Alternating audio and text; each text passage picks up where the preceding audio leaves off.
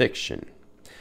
I read stories and watch shows and movies about these fictional characters who are designed to be so interesting and entertaining. I wish that I too could be like them. But alas, I cannot, for I am not fictional. I am non fictional, which is probably my greatest flaw and will eventually kill me.